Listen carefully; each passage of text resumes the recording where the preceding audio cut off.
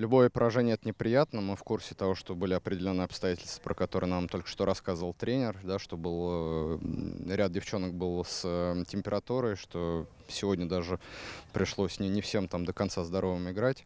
Э, Тем не менее, после любого поражения, да, можно, наверное, подобрать какие-то слова. Поделись, пожалуйста, своими впечатлениями, тем более, что игра была такая, ну, явно не рядовая.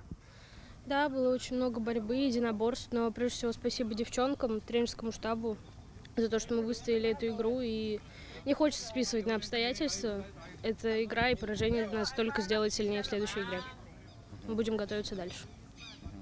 А, Как ты думаешь, почему такая жесткая игра пошла? Связано ли это с, тем, с теми инцидентами, которые в первом тайме были, да, там с вратарем? э, И, и, или она в любом случае, наверное, исходя из того, что такой стиль игровой у соперника?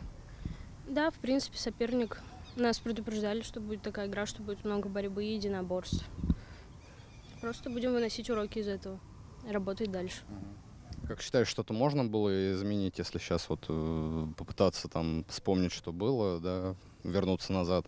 Или, в принципе, ну, исходя из всех обстоятельств, на данный момент это, ну, то, то что могла, команда то и показала. Как считаешь? Я думаю, что лучше в прошлое не возвращаться, а просто вносить уроки и работать дальше. Мы способны дать бой в следующей игре и выиграть. Ну, вы, наверное, выйдете с жестким настроем. Я думаю, это с реваншистским настроением. Да, это не обсуждается. Спасибо тебе большое.